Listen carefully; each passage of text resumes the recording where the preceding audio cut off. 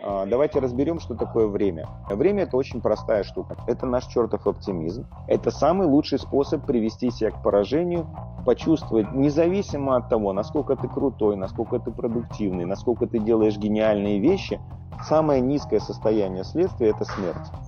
Это глупо. Это абсолютно тупо. Там ловушка. Не ходите туда. Делегируйте, поручайте, отказывайтесь, выбрасывайте и так далее, и так далее. Никто не умрет за этот час. Поезда не сойдут с рельс. Все пройдет нормально. Я бизнесом занимаюсь уже 30 лет. Довольно давно. Открыл свою первую компанию я в 93-м. Вот, и это действительно был дилер Apple Computer. После этого создавал производственные компании, но вот практически уже, боже, уже да, 14 лет занимаюсь консалтингом. Я бы с вами хотел поделиться все-таки э, некоторыми фишками и некоторыми важными вещами в отношении личной, э, личной организации, собственного рабочего времени.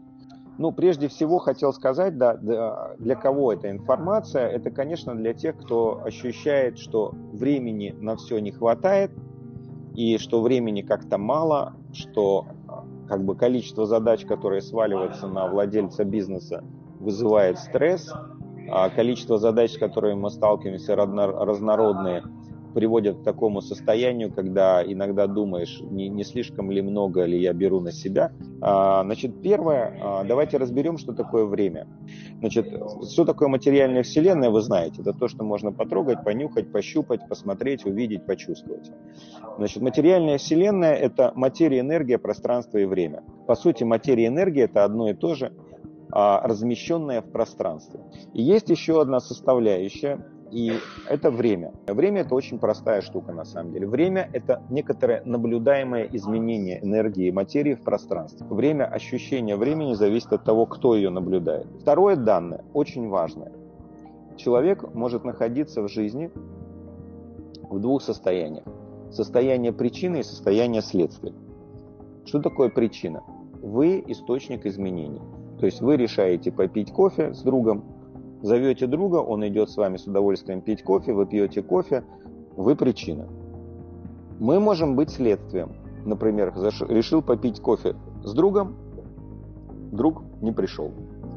Являешься следствием. Так устроены люди. Когда мы являемся причиной, мы себя чувствуем хорошо. Если нам не удается управлять жизнью, мы чувствуем себя плохо, мы чувствуем себя следствием. Для человеческого существа чувствовать себя следствием смертельно. Самое низкое состояние следствия – это смерть. В отношении времени, смотрите теперь, когда мы чувствуем себя плохо, когда, например, скорость изменений слишком большая, в результате мы чувствуем себя следствием, и нам плохо. Я отметил для себя три основные проблемы, которые нас выбивают из состояния причины и не позволяют нам действовать в нашем темпе изменений. Значит, первая причина, как ни странно, это наш чертов оптимизм, Э, это нереальное планирование. И мы с вами абсолютно нереально планируем. То есть мы хватаемся за проекты, которые мы физически не можем осуществить. Это самый лучший способ привести себя к поражению, почувствовать, независимо от того, насколько ты крутой, насколько ты продуктивный, насколько ты делаешь гениальные вещи, вот это самый лучший способ себя уничтожить, сделать себя следствием. Это просто набраться проектов, которые невозможно осуществить. Моя рекомендация для вас – Просто решите, посмотрите на все свои проекты и решите, сколько дней вашей жизни в год вы готовы тратить на каждый из этих проектов. И точка. Вторая причина – это так называемые поглотители времени. Я сейчас работаю с владельцами бизнеса практически все время, и я могу вам сказать, что один из самых больших челленджей для вызовов для владельцев бизнеса – это следующий. Ты с ним общаешься, он знает, что надо сделать в компании, он приходит в компанию, бац, у него полностью вышибает мозги. Там ловушка. Не ходите туда. Поэтому в этих случаях я рекомендую владельцам бизнеса делать следующую вещь. То есть, если у вас нет в компании отдельного кабинета, если у вас в компании вот, ну, происходит такое. А, а, а смотрите, чтобы навести порядок, вам нужно, ну, как бы, вам нужно какое-то время пространство. Поэтому моя рекомендация, работайте дома, работайте в Старбаксе. Вы должны понять одну вещь. что вам нужно организовать свое рабочее пространство и свое рабочее время так, чтобы вы могли работать. Почти вся работа высшего руководителя требует сосредоточения. Выключить чертой бабушке ваш телефон. Вообще отключите его. И вы увидите, что на самом деле никто не умрет. Смотрите, что происходит. Все эти мессенджеры, которые врываются в вашу жизнь, посетители, которых вы не планировали или не ждали, нежданные встречи, друзья, которые зашли, это события, которые пожирают вашу энергию. Потому что вы в, момент, в этот момент вы кто? Причина или следствие? И вы всегда, когда вы становитесь неожиданно следствием, вы чувствуете себя плохо. Просто осознайте это. Зачем вы губите экологию своей жизни? Конце концов, если для каких-то супер экстренных вещей отдайте свой телефон помощнику, который будет снимать, вежливо отвечать, что вы заняты, записывать, кто звонил и так далее. Через час вы к этому вернетесь. Поверьте мне, никто не умрет за этот час. Поезда не сойдут с рельс. Все пройдет нормально. В большинстве случаев, кстати, те, кто вам звонил срочно, вообще разберутся, как самостоятельно решить проблему без всяких проблем. Если вы владелец бизнеса, поймите, вы не можете быть следствием. Потому что если вы следствие, то кто тогда ваша компания, которая является следствием вас? Понимаете? Бизнес становится следствием следствия. И третий момент, о котором я хотел рассказать, он очень, он, может быть, звучит немножко метафизически. То, что я вам расскажу, является действительно важным, а, ответит вам на многие вопросы.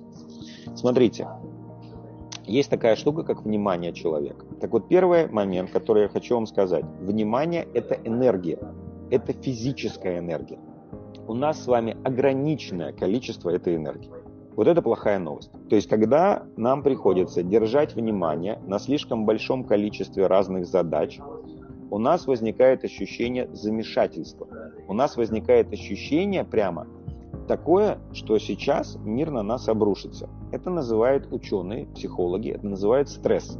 Ощущали такую вещь, что вот у вас много вещей, которые вы делаете, и вы чувствуете, что вот если сейчас этот сотрудник ко мне подойдет и принесет еще один вопрос, который мне надо взять под контроль, вот мне хочется просто его убить.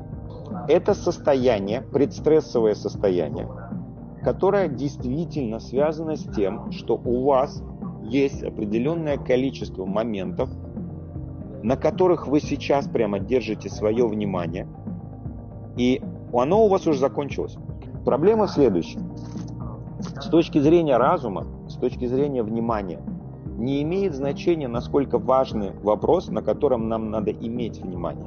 Грубо говоря, то, что, например, я надел носки разного цвета, у меня занимает примерно столько же внимания, сколько, например, незаконченный проект, который мне надо презентовать клиенту. Это глупо.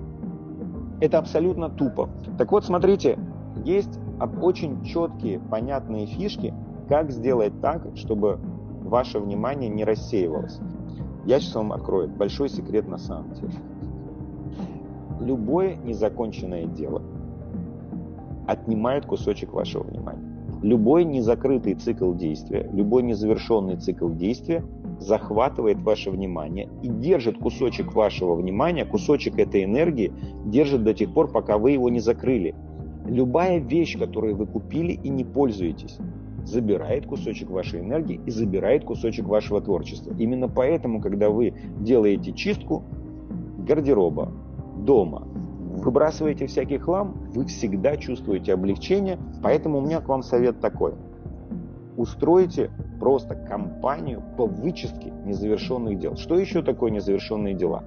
Любое обещание, которое вы дали себе, или вы дали другим людям, но еще не успели выполнить. Это незаконченное дело. На бизнес-бустере там есть предварительная программа Bootcamp, там есть такие прямо задания, когда тебе надо составить список незаконченных дел, а потом методично их отстрелить.